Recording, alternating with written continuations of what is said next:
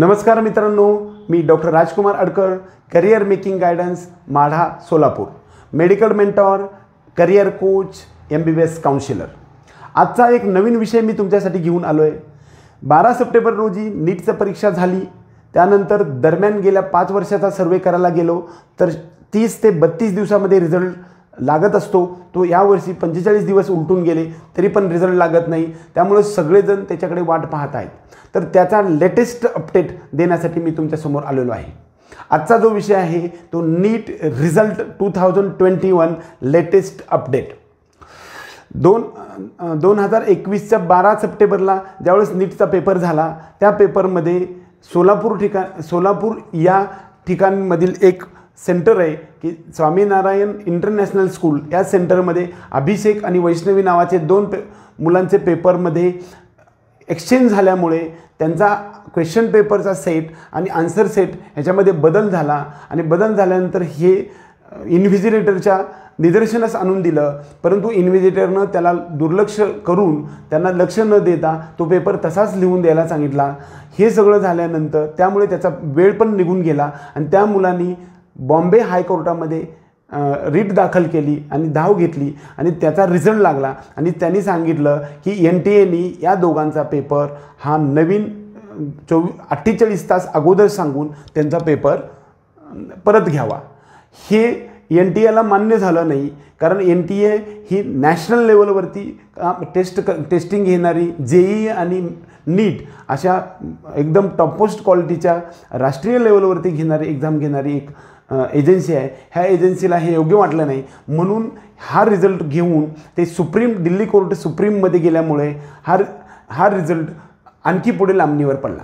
त्यांचे एक्झाम तर घेतलीच नाही पण आत्ता एन टी एच्या वेबसाईटवरती ज्यावेळेस आपण अपडेट पाहायला गेलो त्यावेळेस अपडेटमध्ये सांगितलं होतं की हा जो रिझल्ट आहे जो एन सुप्रीम कोर्टाचा जो रिझल्ट येणार आहे रिझल्ट त्याच्याबद्दल जे काही म्हणणं आहे त्याचं येणार होतं. ते दो एकोणतीस ऑक्टोबर या दिवशी येणार होतं. परंतु आज आम्ही चेक केलं तर ते सत्तावीस तारखेला अकरा ते बारा वाजता म्हणजे उद्याच्या दिवशी हा रिझल्ट अपडेट होणार आहे. मग आता रिझल्ट कधी लागेल ह्याचं प्रडिक्शन मी तुम्हाला सांगेल.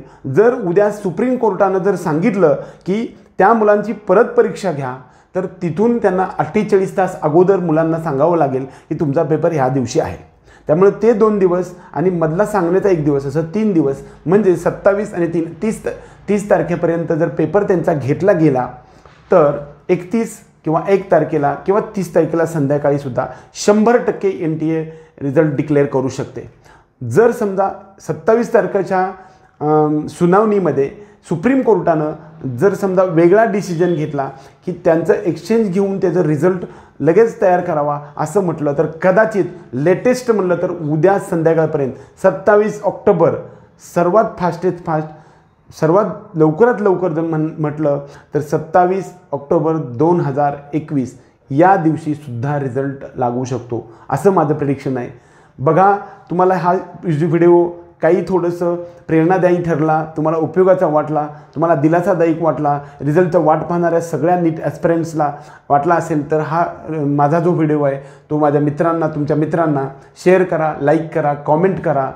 आणि ॲडमिशनच्या संदर्भामध्ये कोणत्याही प्रकारची क्वेरी असू दे तुम्हाला काही गाईडलाईन पाहिजे असेल तर आमच्या स्क्रीनवरती दिलेला हा जो नंबर आहे तो आम्हाला कधीही डायल करा. आम्ही always with you total process all India कोट्याची आणि state कोट्याच्या M B B S B M S B H M S B D S आणि फिजिओथेरी ह्या सर्वाच्या government quota as well as management कोट्याचं संपूर्ण मार्गदर्शन आम्ही करतो. गेल्या सात वर्षामध्ये जवळपास चोवीसशेपेक्षा जास्त लोकांना आम्ही मार्गदर्शन केलेलं आहे.